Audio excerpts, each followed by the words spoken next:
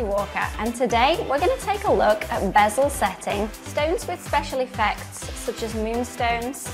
Rose cuts are one of the earliest faceting styles of gemstones. Looking at a stone though to judge how high we want to make that bezel, we aren't looking at the height of the stone itself. So we're going to be making this pendant from a combination of sterling silver and fine silver.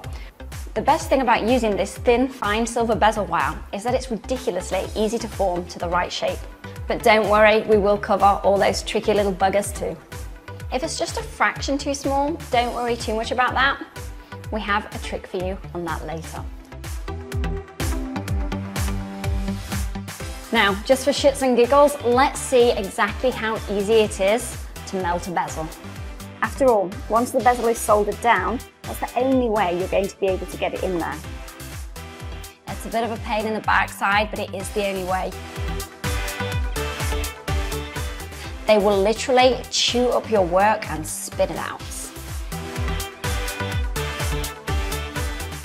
Actually, that's a freaking lie. We've probably got about five to show you. So I do apologize, but this is gonna take a little while.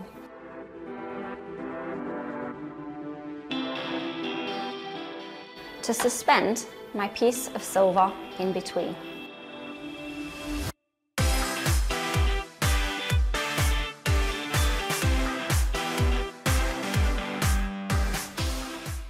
This is to make sure when we solder it to the bezel that we've got a really strong connection.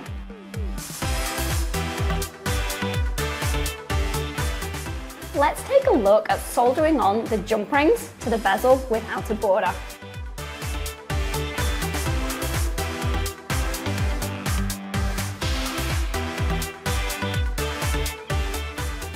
But that's gonna take a long time. So we're gonna use the jeweler's saw.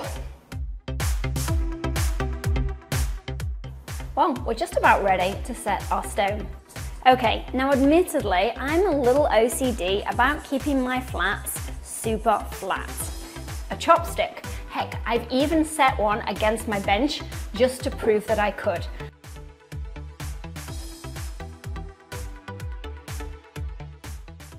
And there we go, just a quick clean with warm soapy water and a toothbrush and our job is most definitely a good one.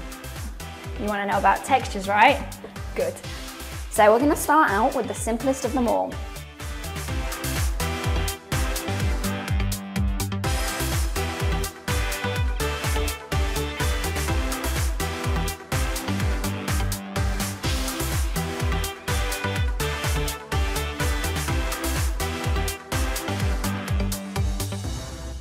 Alrighty guys, thanks for joining us. Catch you later.